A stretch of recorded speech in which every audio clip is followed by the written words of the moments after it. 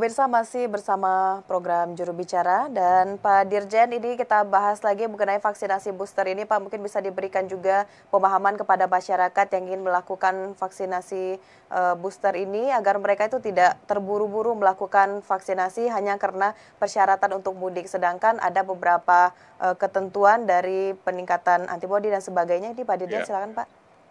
Ya, jadi memang sebaiknya ya cepat ya atau lekas uh, vaksin. Ya.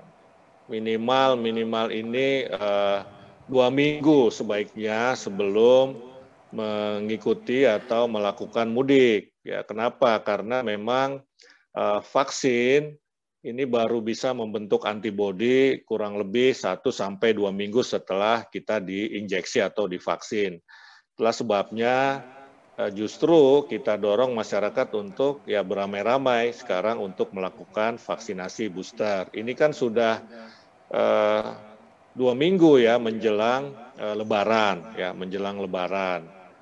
Nah sehingga uh, ya saya kira masih ada waktu ya masih ada waktu untuk uh, kita melaksanakan booster dan memang ada peningkatan yang luar biasa antusiasme masyarakat untuk booster Eh, karena mereka uh, ingin uh, mudik ya. Karena sudah dua tahun ya dua lebaran ini tidak mudik ya. Karena itu saya kira ini fenomena yang baik. Walaupun masih kurang ya masih kurang karena itu masih harus terus kita dorong begitu ya. Jangan sampailah terlalu mepet dengan lebarannya karena percuma juga ya sebab vaksinnya antibodinya belum terbentuk dari vaksinasi booster itu ya kalau demikian ya tetap dianggap dia itu sebagai orang yang uh, sudah vaksin lengkap ya sehingga masih perlu uh, eh, PCR ketika ingin uh, mudik begitu. Baik, berarti kembali lagi tujuan dilakukannya vaksinasi itu adalah untuk memberikan kekebalan kepada masyarakat dan terhindar dari uh, terjangkitnya positif COVID-19. Baik, Pak Dirjen, uh, 80 juta lebih masyarakat Indonesia diprediksi akan melakukan mudik lebaran di tahun 2022 ini. Tentunya angka ini sangat besar sehingga pemerintah memang harus lebih maksimal lagi memperlakukan nantinya persiapan jalur mudik atau uh, rekayasa lalu lintas selama lebaran. Untuk saat ini bagaimana persiapannya, Pak? Ya, persiapan uh, terus kita lakukan. Ya, misalnya uh, hari ini ya kita akan uh, melakukan uh, rapat, ya rapat koordinasi uh, lintas kementerian dan lintas uh, lembaga ya untuk merumuskan uh, seperti apa.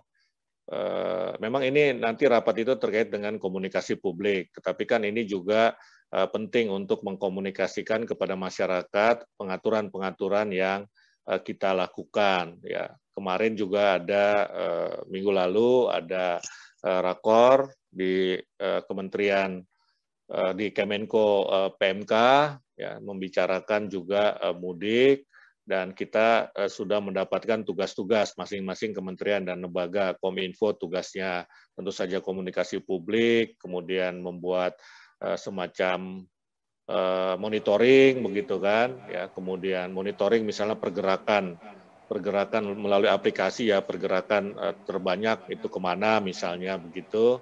Nah, kemudian Kementerian PUPR apa tugasnya? Tentu saja menyiapkan infrastruktur mudik, kemudian Kementerian Perhubungan terkait dengan pengaturan dan semuanya kita sudah persiapkan. Nanti pada saatnya akan disampaikan kepada masyarakat ya pengaturan-pengaturan seperti apa yang uh, kita lakukan ya.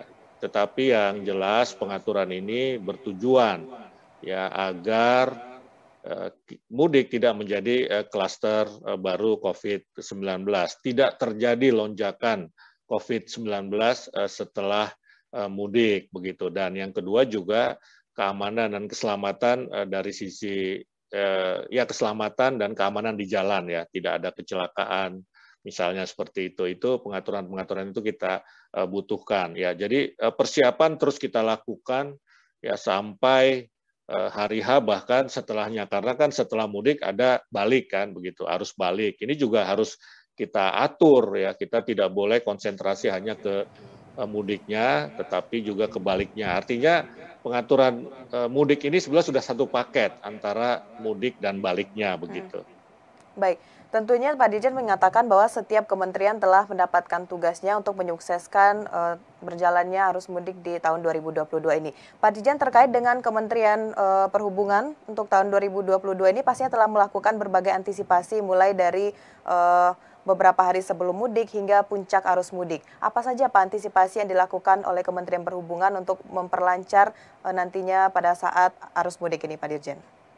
Iya, banyak yang dilakukan oleh uh, Kementerian Perhubungan ya, misalnya mempersiapkan ya, mempersiapkan angkutannya, ya, angkutannya. Misalnya begini, ini kan uh, ketika pandemi COVID uh, jumlah penerbangan berkurang, ya berkurang karena memang penumpangnya juga berkurang. Nah, tetapi bagaimana sekarang Kementerian Perhubungan meminta airlines untuk menyiapkan armada-armada Eh, mungkin tambahan ya atau memang ya armada yang melekat di uh, mudik begitu supaya masyarakat yang ingin mudik dengan uh, angkutan udara itu bisa terlayani ya kemudian juga uh, didorong untuk uh, adanya uh, mudik uh, bersama begitu karena ini akan mengurangi penggunaan kendaraan pribadi kan begitu hmm. ya akan mengurangi kendaraan pribadi didorong saya kira sudah banyak perusahaan, kementerian, BUMN yang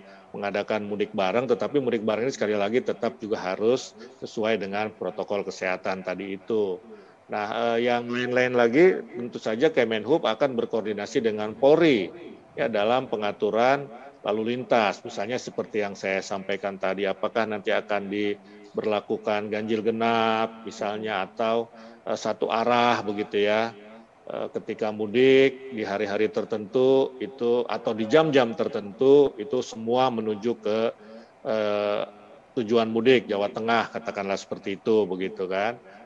Sementara nanti begitu balik eh, diatur sebaliknya. Nah ini ini pengaturan-pengaturan yang sedang digodok ya oleh eh, Kementerian eh, Perhubungan bekerja sama tentu saja dengan Eh, Polri dengan uh, lalu lintas ya lalu lintasnya uh, Polri begitu ya supaya koordinasinya uh, baik di lapangannya implementasinya juga baik juga ada posko-posko mudik ya yang dibuat oleh Kemenhub ya akan dibuat posko-posko mudik uh, Kemenhub bersama dengan Polri dan juga eh, biasanya akan ada partisipasi dari eh, BUMN ya ini untuk melancarkan atau menyamankan masyarakat yang akan mudik. Nanti spesifiknya ya apa yang dilakukan oleh Kemenhub ini akan disampaikan kepada masyarakat. Aturan mudik lebaran 2022 ini.